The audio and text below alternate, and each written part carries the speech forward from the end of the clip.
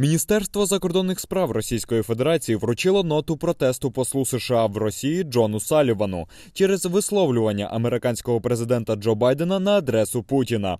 В МЗС Росії наголосили, що подібні заяви американського президента ставлять російсько-американські відносини на межі розриву, а також попередили, що ворожі дії, які здійснюють проти Росії, наразять на рішучий та твердий опір.